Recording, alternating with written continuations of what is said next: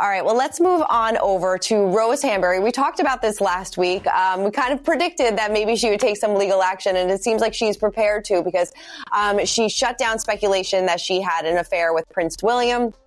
And uh, In Touch confirmed that Hanbury's lawyers sent a legal notice to the Late Show with Stephen Colbert after Stephen poked fun at rumors she was unfaithful with Prince William in 2019 and linked the alleged affair to speculation about Princess Kate's whereabouts as she recovered from surgery. Um, her, her, lawyer said in a statement, the rumor appears to have entered into the mainstream media recently as a result of another joke made about it on The Late Show with Stephen Colbert. We have written on our client's behalf to CBS and various other reputable media organizations to confirm the allegation is false. I know you said last week that um, she doesn't really have a strong um, claim in this. Do you kind of stand by that still?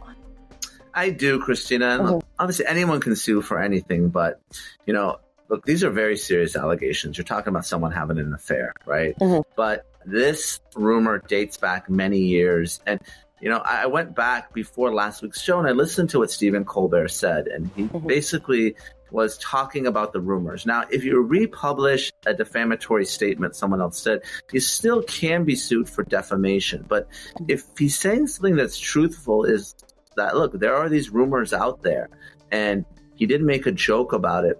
I don't necessarily think that she's going to have enough to get past a judge on mm-hmm. a motion to dismiss or a motion of summary judgment. I don't think she's going to be able to get to a jury based on what Stephen Colbert said, because again, he's not saying that, you know, she affirmatively had an affair. He's just saying, look, these rumors are out there and she's denying it, which is what anyone would do when mm-hmm. they've had an affair. So, right. Um, people can file but I think this is more one of those cease and desist type situations than an mm-hmm. actual mm-hmm. lawsuit. But we'll see. Right. Kind of like the scare tactic. Kind of like when Taylor Swift sent the letter to the kid that was, you know, following her flight path and things like that. It's more of like, all right, we need to calm down and yeah. not talk about my affair rumors anymore.